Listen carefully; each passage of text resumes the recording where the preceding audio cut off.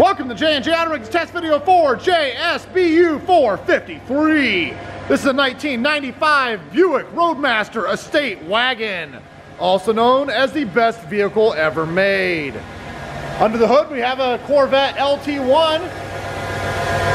Running real nice and smooth. We'll be selling this complete with all the belt-driven accessories, harness, ECU, and transmission. Vehicle is white, code 16U.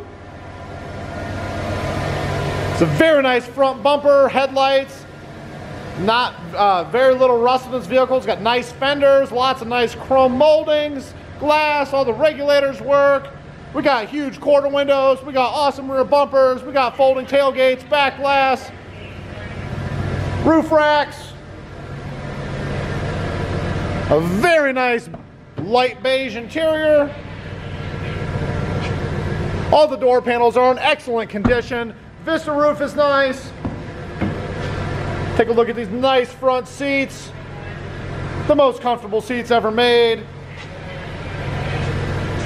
All right, we're gonna step in here. Temperature control and radio function well.